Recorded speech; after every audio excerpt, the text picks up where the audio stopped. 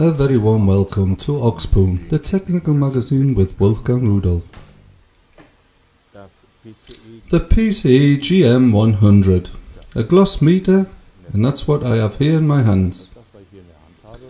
It looks pretty insignificant, and when we turn it on, first of all it does the calibration. You have to confirm it, it, takes a little time, and then it says OK. What has happened? Well, a device has with this gloss reference part in here. It is a glass with defined reflex diodes in here.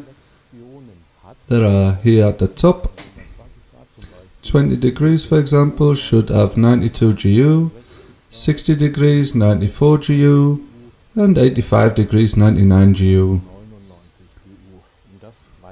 And the device knows that and adjusts itself internally.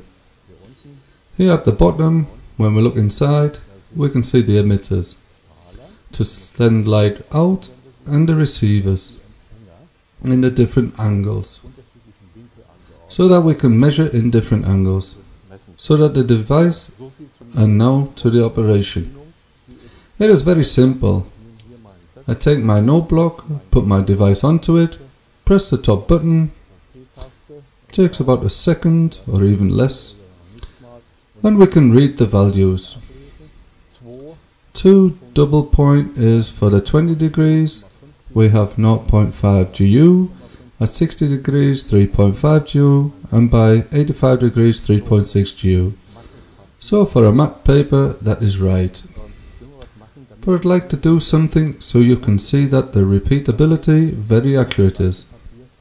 The same piece of paper, the same measurement, and as you can see, nearly identical.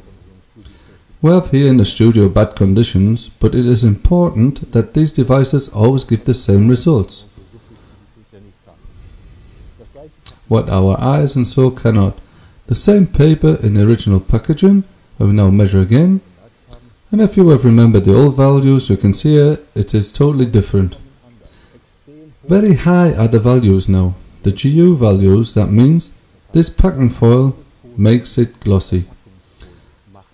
That are naturally sales tricks, not only by paper, lots of other articles when you buy sweets or presents, they are also packed like that, so that they shine. Let's see what a mirror does. A mirror is an extreme situation. When I go to here now, we come to the limits of this device. Which is 200 GU, but you can see it actually shows higher. The mirror is the extreme situation.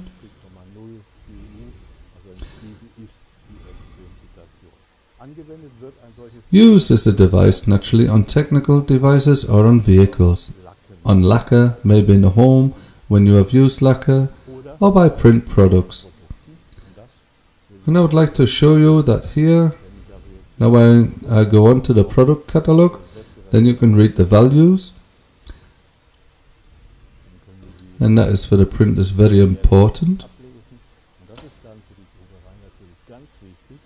Because they don't just print one book, if you print 10 or 100 thousands of them, that all of them are identical. Not that one is shiny, the other matte, naturally the colour has to fit. But gloss, what we can't see ourselves, these devices measure and are incorruptible.